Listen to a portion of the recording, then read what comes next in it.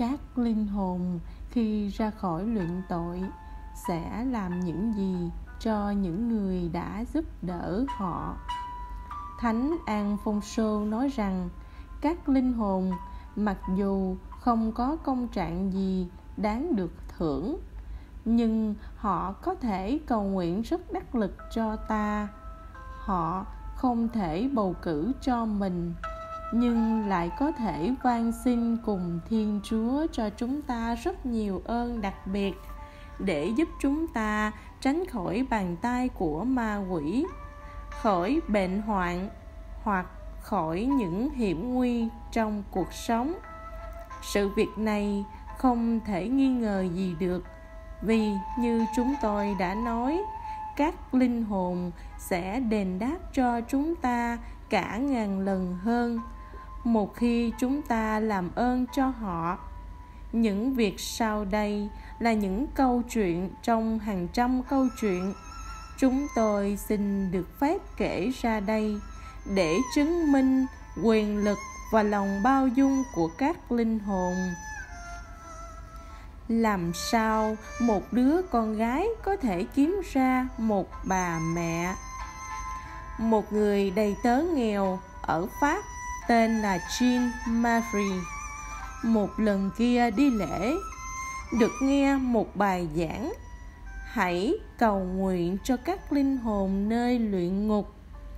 Nội dung của bài giảng đã làm cho cô không thể nào quên được. Những tư tưởng đó cứ luôn lẫn quẩn trong đầu cô. Cô suy nghĩ về sự đau khổ của các linh hồn đang phải chịu đựng sự nung nấu trong biển lửa. Cô cảm thấy khủng khiếp và tự hỏi, tại sao bạn bè trên thế gian lại có thể quên lãng các linh hồn một cách vô tình như vậy? Cũng trong bài giảng đó, cô đã nghe những linh hồn bị giam cầm rất lâu cho biết sự đền tội của họ đã gần xong, sắp được giải thoát chỉ cần một lễ nữa thôi là họ sẽ được ra khỏi trốn giam cầm. Nhưng vì bị lãng quên, không người cầu nguyện cho, không ai xin lễ cho, nên họ vẫn còn bị giam giữ ở đó. Với cô, lòng tin thật giản dị. Cô liền hứa là sẽ xin lễ mỗi tháng cho các linh hồn nhất là những linh hồn sắp được về chầu chúa. Đồng lương của cô rất ít ỏi, nhưng hàng tháng cô vẫn giữ được lời hứa. Một lần kia, khi đi paris với người chủ, cô lâm bệnh, phải vào nhà thương. Không may, chứng bệnh của cô kéo dài quá lâu. Chủ của cô phải về trước vì công việc và nghĩ rằng người đầy tớ nghỉ bệnh vài hôm sẽ về sau.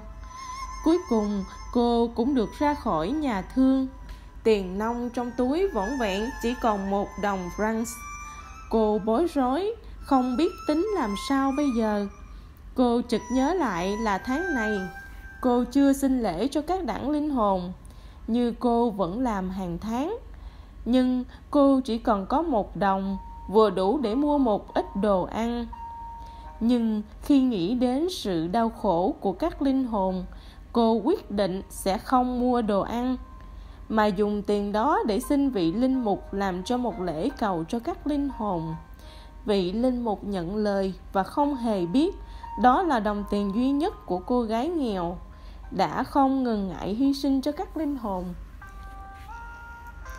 Tâm hồn của cô thật cao đẹp sau sự hy sinh cao cả đó, vị nữ anh hùng nghèo nàn rời khỏi nhà thờ. Một thoáng buồn có phần bối rối hiện lên trên khuôn mặt.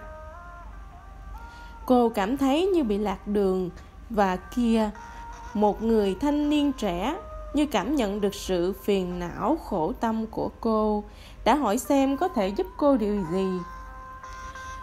Cô thuật lại đầu đuôi câu chuyện cho anh ta nghe và cuối cùng, cô ngỏ ý muốn có một việc làm. Không hiểu tại sao, cô cảm thấy có niềm tin tưởng và sự an ủi nơi người thanh niên trẻ này. Người thanh niên lắng nghe cô và rồi đáp, tôi rất vui thích được giúp đỡ cô. Tôi biết có người đang cần người giúp việc, hãy đi với tôi. Sau đó, người thanh niên dẫn cô tới một căn nhà cách đó không xa. Và bảo cô nhấn chuông, anh ta chắc chắn là cô sẽ có việc làm. Ra mở cửa là một người đàn bà. Cô Ziz Mary chào.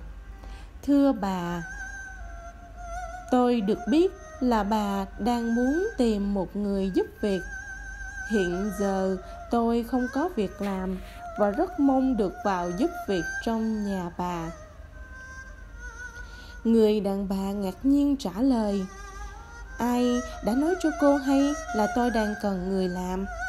Chỉ vài phút trước đây thôi, tôi mới cho người giúp việc của tôi nghỉ. Và trong một thoáng giây, làm sao cô gặp được cô ta mà biết chuyện đó? Cô jean mary trả lời, thưa bà, không phải vậy. Người đã nói cho tôi biết là bà đang cần người làm, là một người thanh niên trẻ. Không thể nào người đàn bà khẳng định, không có người thanh niên trẻ nào cả. Sự thật không ai biết là tôi đang cần một người làm. Nhưng thưa bà, người con gái chỉ tay lên tấm hình treo trên tường, trả lời một cách rất rõ ràng, đó là người thanh niên đã nói cho tôi biết. Người đàn bà nói, tại sao? Nó là con trai độc nhất của tôi nó đã chết hơn một năm nay rồi. Chết hay không chết, tôi không biết. Người con gái quả quyết chắc chắn. Nhưng chính anh ta đã nói và đã dẫn tôi tới tận nơi đây để gặp bà nhìn cái thẹo trên mắt anh ta, tôi có thể nhận diện anh ta bất cứ nơi nào. Rồi cô kể cho bà chủ nhà nghe tất cả câu chuyện với một đồng tiền cuối cùng, cô lấy đi, xin lễ cầu cho các linh hồn. Đặc biệt là cho những linh hồn sắp ra khỏi trốn giam cầm. Người đàn bà nghe xong sự thật, mổ vòng tay đón cô, vô đây. Từ nay con không phải là đầy tớ, mà là đứa con yêu dấu của ta. Bởi con đã cứu con trai ta và đã đưa nó về thiên đàng. Ta tin rằng nó đã đem con tới đây cho ta. Tạ ơn chúa.